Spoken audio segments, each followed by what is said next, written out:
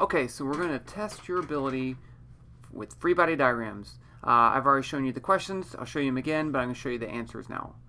So here is the first case. I have a bike, and I'm going to pull on the top handlebar. I'm pulling to the left. So which way will the bike move? This one should be pretty easy. Um,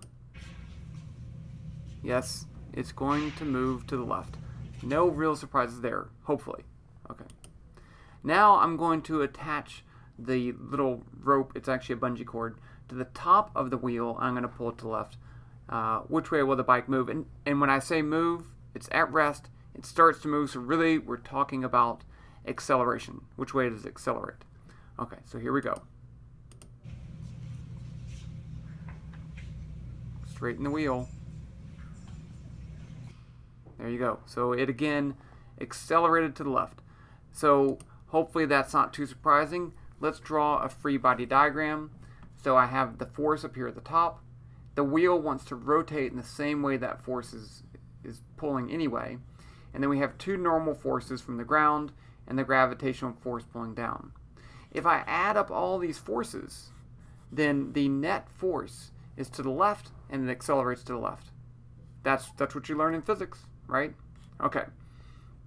Next and final question. What if I pull on the bottom of the wheel? Which way will the bike accelerate?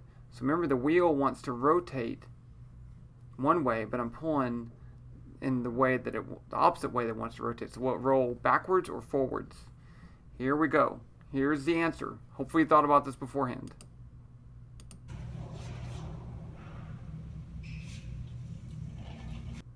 Like that? I do.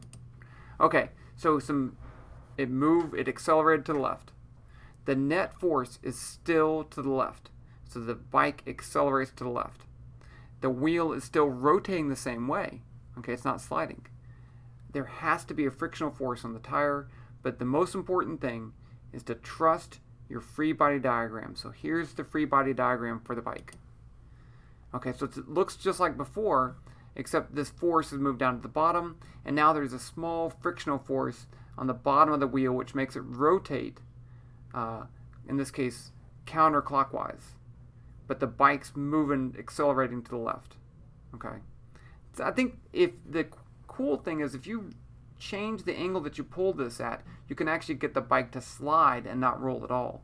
Um, and if you pull straight up, you can actually get the bike to go backwards. But in, in the case that I've shown, the net force is to the left, it accelerates to the left. Don't trick yourself into thinking something else. So the moral of the story is that free body diagrams still work. Trust your free body diagrams.